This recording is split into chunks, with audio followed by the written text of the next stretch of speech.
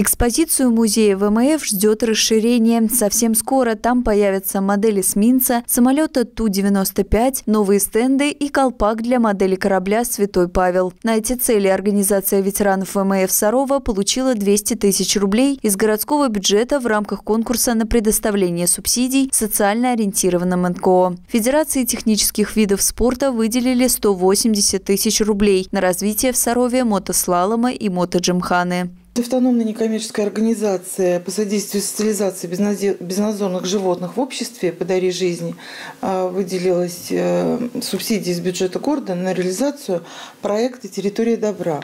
А, проект э, себя включает закупку необходимых э, вакцин и медикаментов для лечения и вакцинирования животных.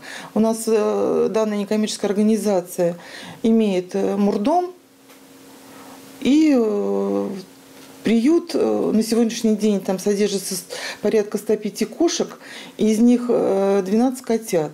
На нужды бездомных животных выделили 150 тысяч рублей. Городская организация ветеранов войны, труда, вооруженных сил и правоохранительных органов получила субсидию в размере 200 тысяч на реализацию проекта «Старшее поколение в гармонии с возрастом». Организаторы потратят их на поздравление ветеранов, празднование Нового года, Дня пожилого человека, мероприятия «Дары осени». В парке имени Зернова участники ежегодно предоставляют продукцию, выращенную на своих огородах. Также планируется поездка в Мордовский заповедник. Оно «Здоровая нация» получило 190 тысяч рублей на реализацию проекта «Развиваемся с интересом». Выделена субсидия для приобретения оборудования. Это настенная сенсорная панель «Ежик Мирон» диагональю 32 дюйма для проведения занятий с детьми для детей с ограниченными возможностями здоровья.